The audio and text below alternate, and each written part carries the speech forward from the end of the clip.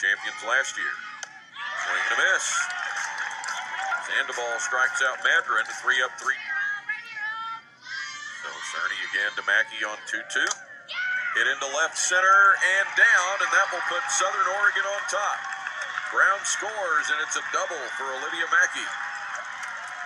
1 0 Raiders.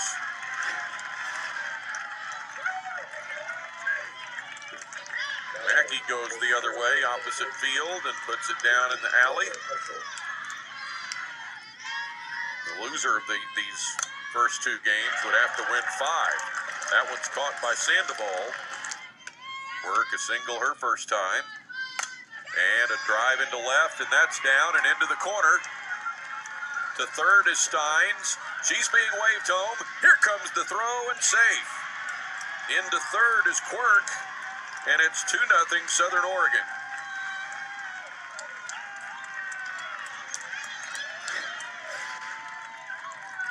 to College of Idaho, former Albertson College. Hit into right field. Runner will tag at third. The catch made by Kingsley. And the throw is too late. Another one, two. Swing and a miss. Sandoval gets three straight outs after the leadoff single. This one hit hard out to left center. Back it goes, and goodbye.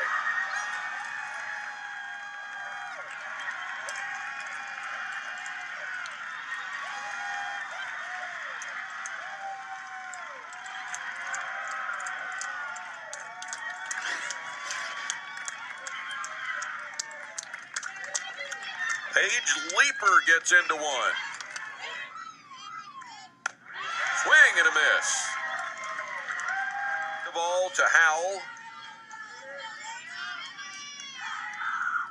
And a swing and a miss. And Southern Oregon completes the win over Science and Arts of Oklahoma by a final score of four to nothing.